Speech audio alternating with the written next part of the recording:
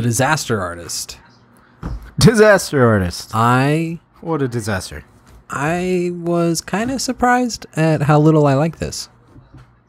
Really? Yeah, I uh, I No, I only watched The Room because I read the book, The Disaster Artist, and I was excited about the movie coming out.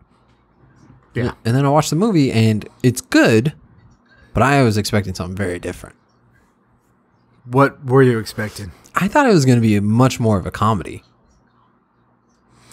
Um, I mean, it's as funny as it can be when you're talking about a very sad man's life. Yeah, and that, that I was just kind of depressed watching this movie. Uh It it had its moments though. oh yeah, no for sure. And I mean it was Mainly the first, I don't know, three quarters, but then the last, the last bit of it is pretty depressing. The James Franco I thought did a great job and uh oh man. Dave Franco did a really good job too. Um Yeah, I thought so. But uh, what what really killed it for me, I mean, this is kind of jumping to the end of the movie, was in the theater when everyone watching the movie started laughing. Yeah. That was the worst acting out of the disaster artist and the room. Oh, you thought? So? It was terrible. People were like, like I think Just- some people just find it hard to fake like exorbitant laughter. yeah, It was- like you can fake a laugh, but can you fake like like as if you're watching the funniest thing you've ever seen? no. I, exactly, it's not easy. Um, but people Do it daily. people people were one i don't think that's what actually happened right not in real life i think it took a long time for the room to start gaining steam on being funny i think people were just Yeah. uncomfortable for a long time and then they started Oh, I'm sure. liking it and you know getting excited about it but uh i think it took a long time for that to happen i don't think anyone i don't know if anyone at that first premiere was like really into the movie Like cracking up. Yeah. yeah. Um, but yeah, so the the disaster artist, the story is this is about Tommy Wiseau and Greg Sestero, who were friends. They met in acting class. Tommy Wiseau is this rich guy from the where is he from? Uh, middle no, Eastern He European. says he's from New say. I almost Orleans. said I almost said Middle Earth. An idiot. he could be for all we know. Sometimes I say things and I'm like, I am the dumbest person alive. That where does He is an elf. he kind of looks like an elf? He does. Um, Um, yeah, th- he claims to be from New Orleans. yes, but definitely not. Hmm, not originally. I don't. Maybe like a different planet, New Orleans. Um, I don't know. That dude's wacky. He's so weird. yeah, How old do you think he legit is? Like at least in the room. in the In room, the room. he's probably late 30s, early 40s, Uh, He's got to be like forty-two by then. maybe 42. Uh, that's my guess. Yeah. at least forty-two. Yeah, probably. I mean, And that was that was almost twenty years ago. No, He's got to be pushing sixty, I think. Yeah, it was two thousand six. Six? No, 2001? I 2001? don't think so. I think it's 2001 when it actually premiered, but they filmed it like two years before that. Hmm. Okay. Well, almost 20 years ago. Yeah, so he's Yeah, in so his 60s now. He's got he's got to be 60 at least, I would imagine. But so he he ends up making his own movie. He writes and produces and directs his own movie.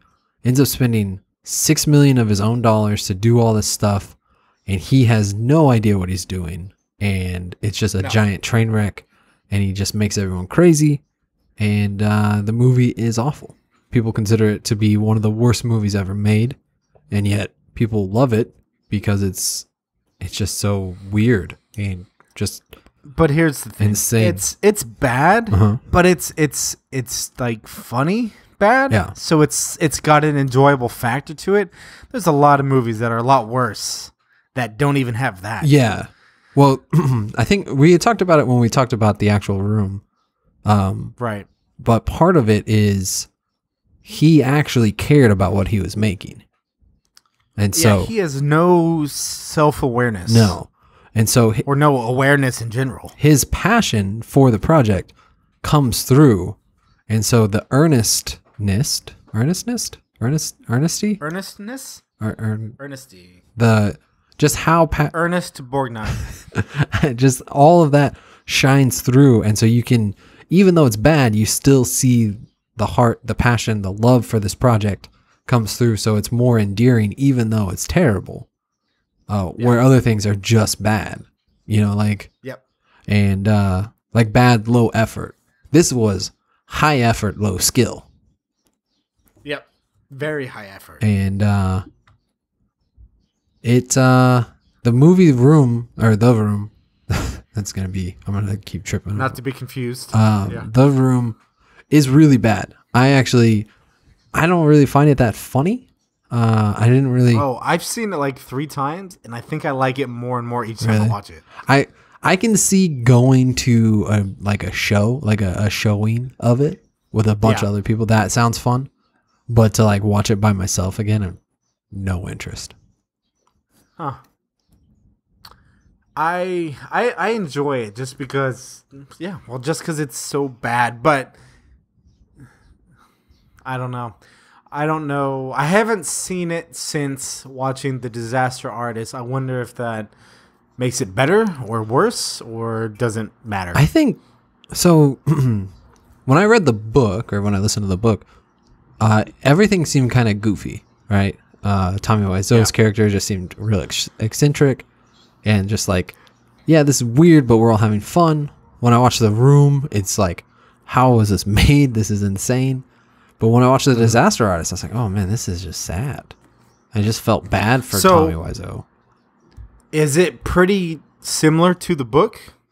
No, not Like I mean, not really. do they get it right? No?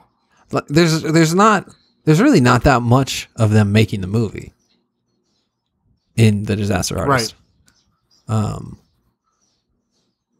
and uh I'm trying to think. Because they, they don't start making the movie until about halfway through right? Yeah. and all the stuff that leads up to them making the movie i don't really feel like they they did it true to the book. Okay. and it's not bad. It's not like it's crazy out there. They just they cut out certain plots and like things that why he would do this or do that. Um Yeah. but uh yeah, i'm trying to remember it.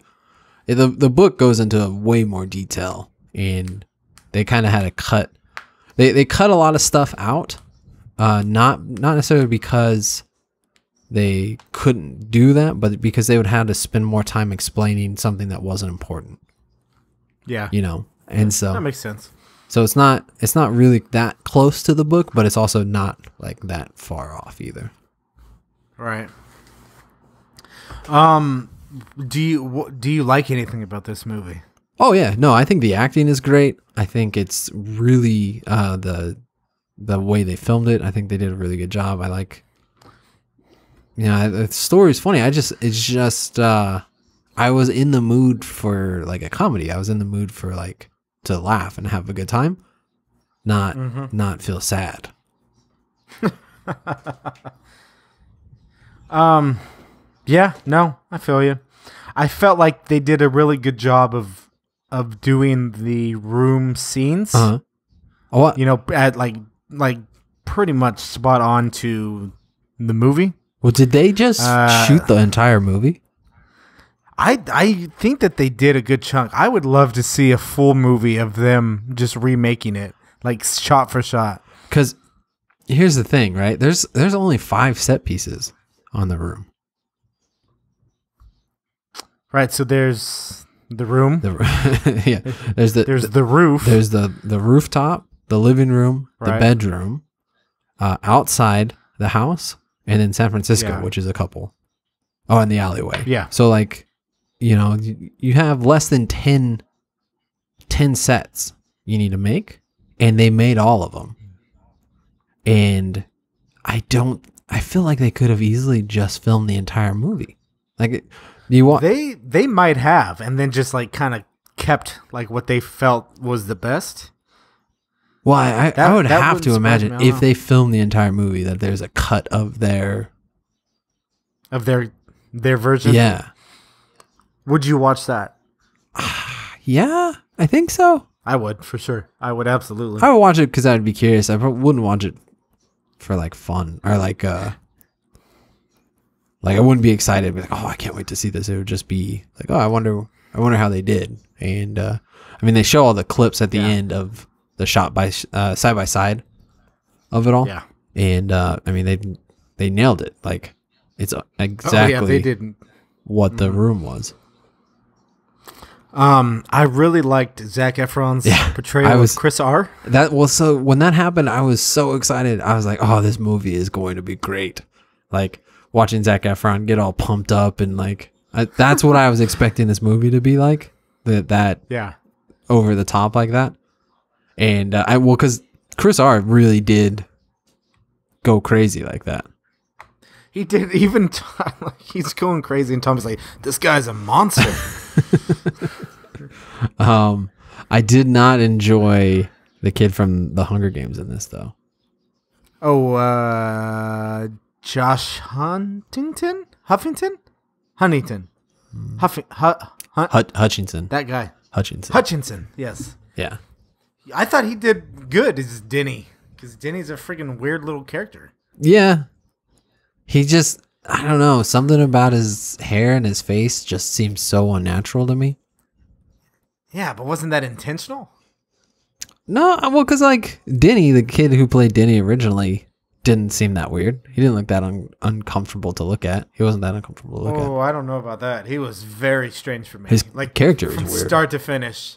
He looked like a little weirdo. at. I, I felt like they, they nailed it. even at the end when they're in the movie theater, he still had that same haircut, which seemed strange.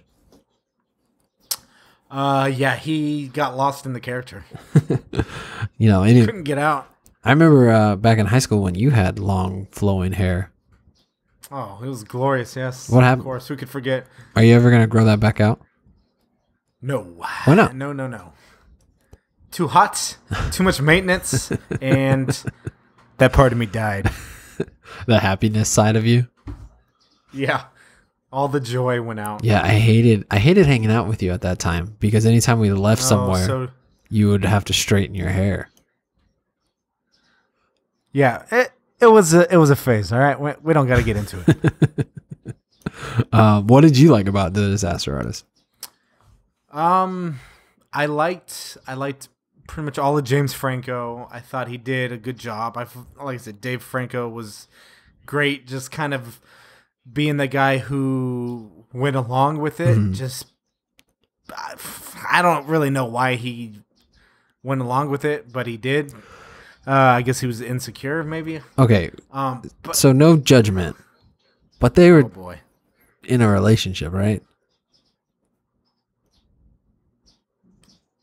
Tommy Wiseau and Greg Sestero, Yeah, or or James I don't. Th- and I don't. Dave Franco. I don't think James and Dave were in a relationship.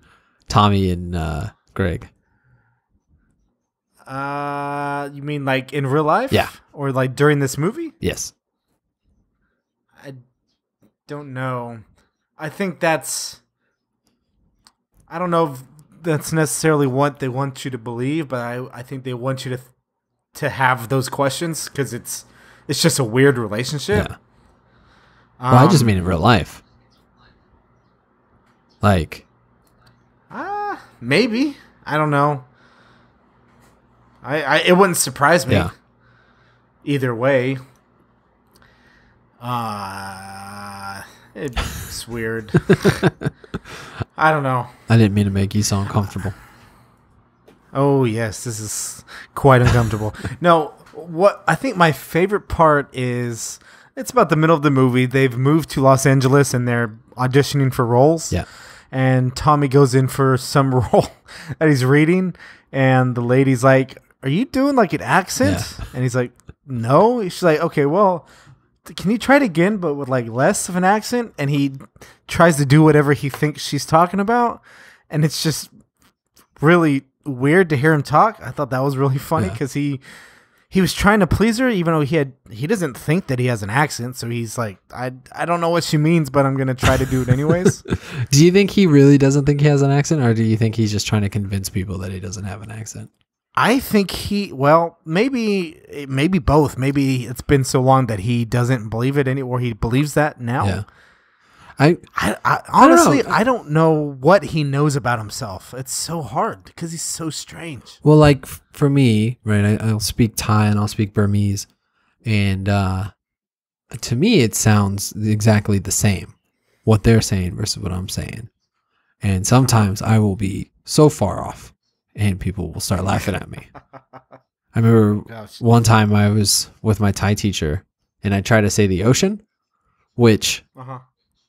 You would think or like I, I didn't know the word for it so i was trying to say it in thai in a way that made sense so i said big water which i said nam yai uh, which is big breasts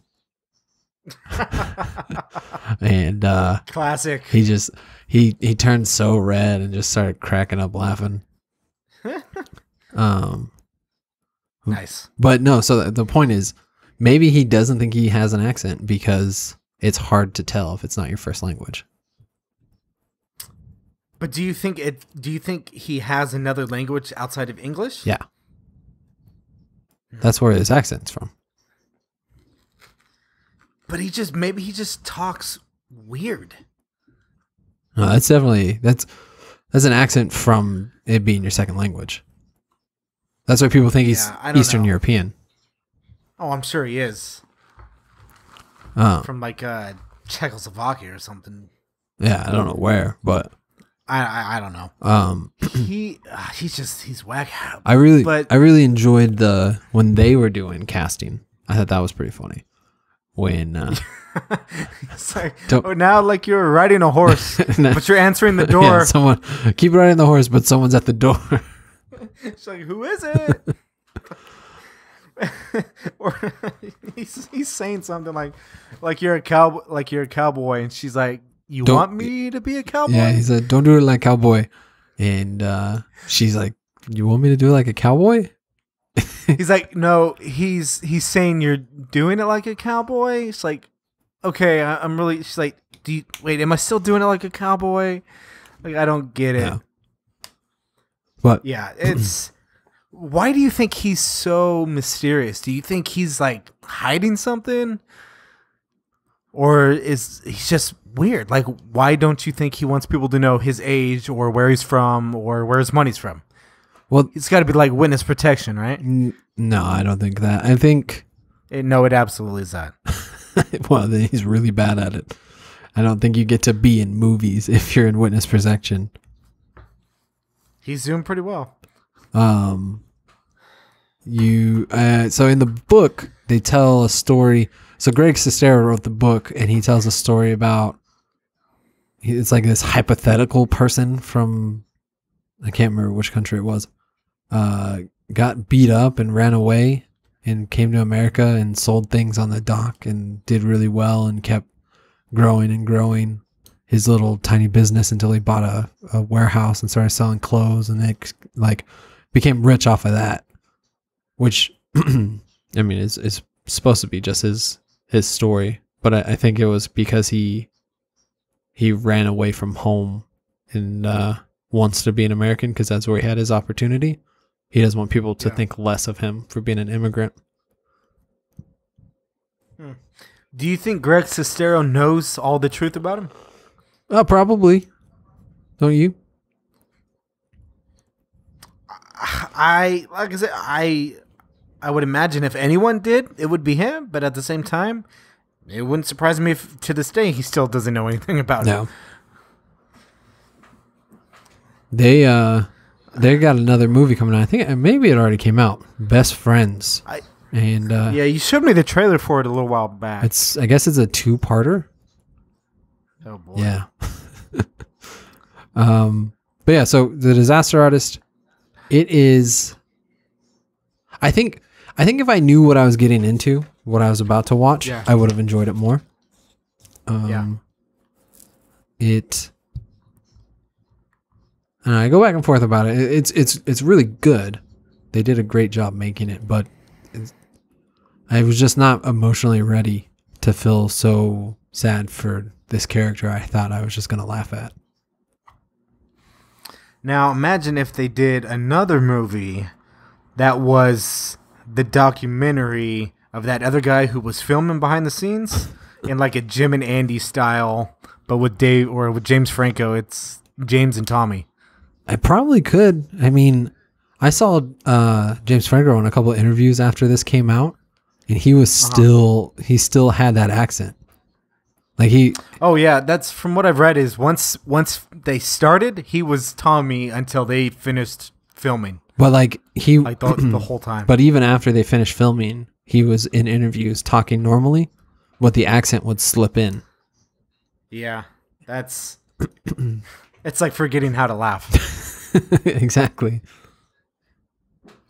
Um. Um, one other scene that I thought was funny. So, uh, it's when they're in the premiere and they're watching the movie, and uh, there's a scene where Denny runs in on them on the bed Yes. and have like that weird pillow fight. Yeah. Uh, Jason Mantzoukas' character's there. He just he just makes the comment. He's like, "Ooh, I don't like this."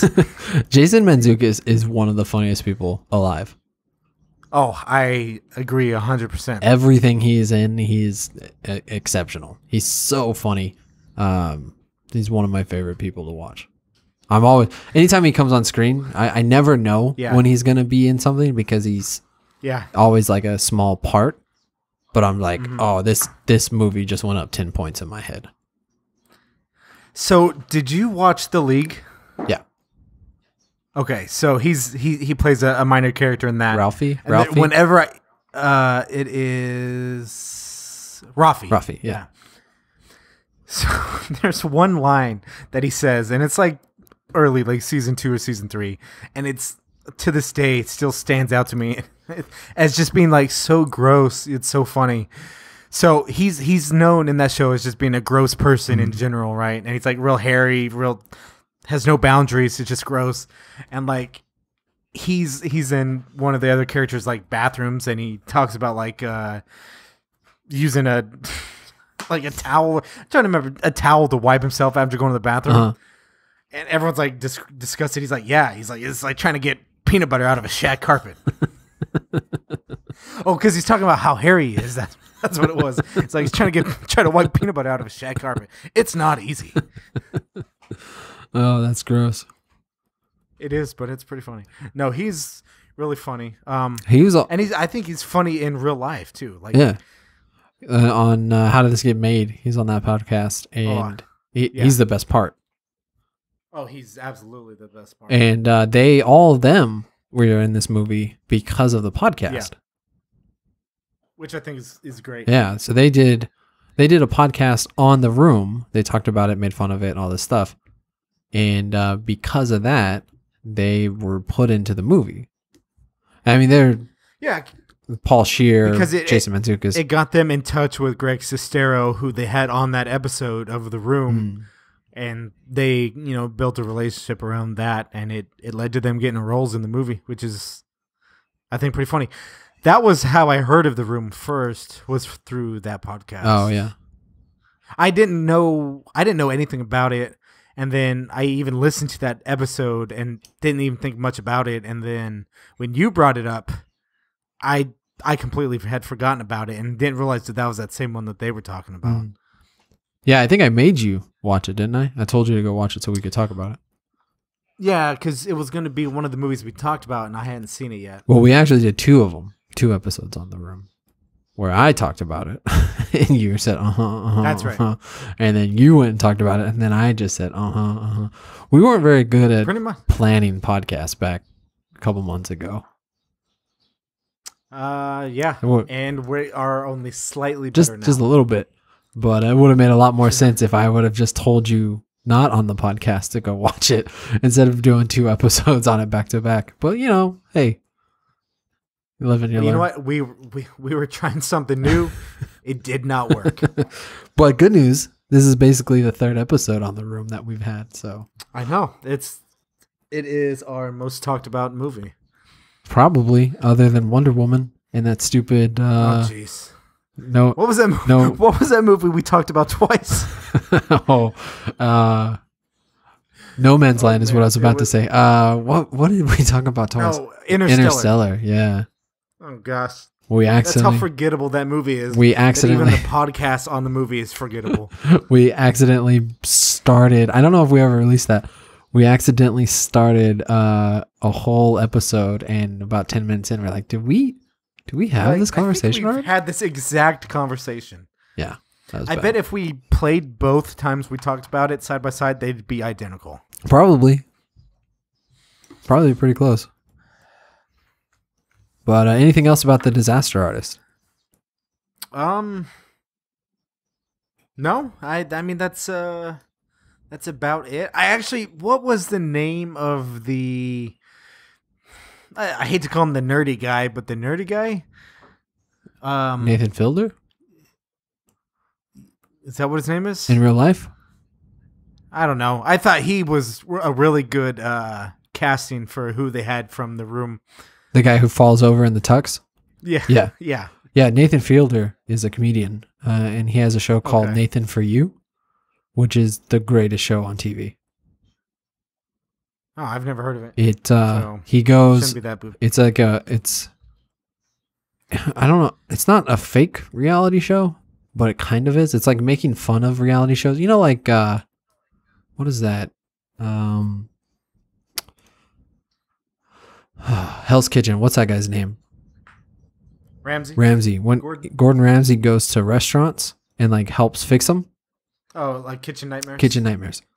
Uh, he does that for small businesses, but he gives them terrible advice, and uh, but he does it with a straight face, and so they'll do it. He he did. Uh, And these are real life businesses. yeah, he had They have no idea what they're doing. yeah, and uh, he had one Huh. coffee shop turn into fake Starbucks, Oh, jeez. and uh, they just like Why did they take his advice? Is does he claim to be some renowned because it's on TV. dude? Yeah, Wow. and What's it called? Nathan for you. I'm gonna have to watch It's- that. Sounds funny. It is great. It's yeah, it's it, Huh. it's one of my favorite shows. But uh yeah, no, the disaster artist pretty good. Uh there's not there's nothing about it that I hate. I just wasn't ready for it. You're just bummed. Yeah, I like again, if I rewatched it, I would I'd probably enjoy it more cuz I would know what I'm watching. I to be honest, I I, I kind of do remember going into it uh, the same way as you, thinking it was gonna be just a straight up comedy. yeah. and then it, it it being that at first, you know, for like the first half, and then it kind of slowly transitioned into uh, sad. And I was a little bummed out, but it, it wasn't so much that it didn't, you know, that it took away from the movie. Yeah. And then I feel like I watched it again today, and knowing all that, I think it makes it more enjoyable. Well, it's definitely it's a it's a drama, right? Would you consider this a comedy? Uh, uh, yes. I don't know if I, I don't know. It's tough. It's a good blend of drama and comedy, I guess. Yeah, I, the the comedy is it how ridiculous it is, but it being ridiculous is the sad part. Yeah. You know what I mean? Like, I don't know, Yeah. No, I agree. but uh, yeah. So we will be back uh, in a couple days with Molly's game, which I have no idea Yeah. what that even is or who's in it or what it's about. So this will be a new experience for me. You you said you've seen Don't it. even look. I have seen it. I just saw it a few days ago.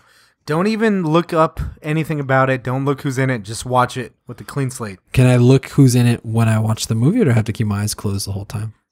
Uh, you are only allowed to listen to it. Okay, that's gonna make it tough. And just imagine that it's Nicolas Cage Ooh. playing all the roles. All right. You'll have a new respect for Nicolas Cage. Can I imagine it's Nicolas Cage as Ghost Rider playing all the roles? Uh, each character you need to imagine as a different Nicolas Cage character. Gotcha. So Family Man and Next and The Wicker Man. Con Air, Wicker Man? Face Off. Ooh, yeah, Face Off. So when I when I think about Nicolas Cage and Face Off, do I And think of I Nicolas Cage pretending to be John Travolta or John Travolta? I want you to imagine John Travolta, but it is Nicolas Cage. So when Nicolas Cage pretended to be John Travolta. Yes. Okay. And then, of course, I want you to imagine the main character is Nicolas Cage from the Left Behind movie. Oof. I never want to think about that again. That is awful. All right. Well, we will be back with Molly's game in a couple days. If you want to listen to that now, you can go to uh, patreon.com slash I seen that. For a dollar, you get access to all our episodes two weeks early.